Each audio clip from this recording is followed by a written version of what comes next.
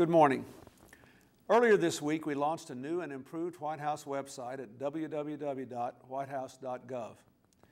Today, I want to talk a little about the website and about our other efforts to use technology to bring government closer to the people. I'm proud to have been the president who brought the White House into the digital age.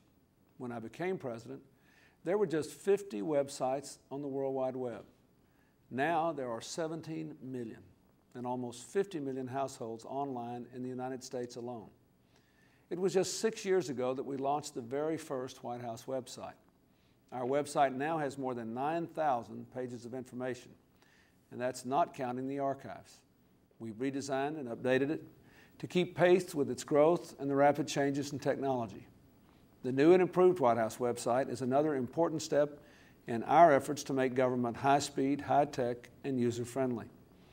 We're bringing information that matters into people's homes, policy papers, the Citizen's Handbook, links to federal agencies.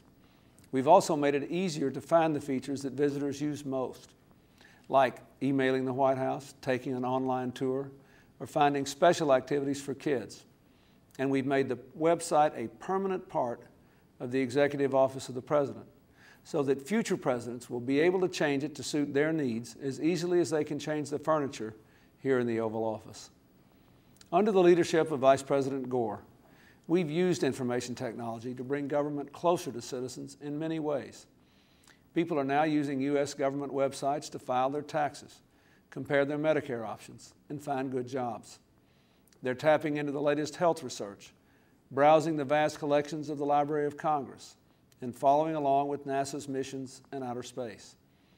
And we're in the process of creating a single customer-focused website, www.firstgov.gov, where Americans can find every online resource offered by the federal government. But we must do more to ensure that the benefits of the information revolution flow to every American. That means working to close the digital divide, to put computers in every classroom, to train our teachers to make the most of them. We must also pay attention to the issues of computer security and the privacy of our records on computers so that the newest technology doesn't undermine our oldest values. 81 years ago this week, Woodrow Wilson became the very first president to communicate by radio.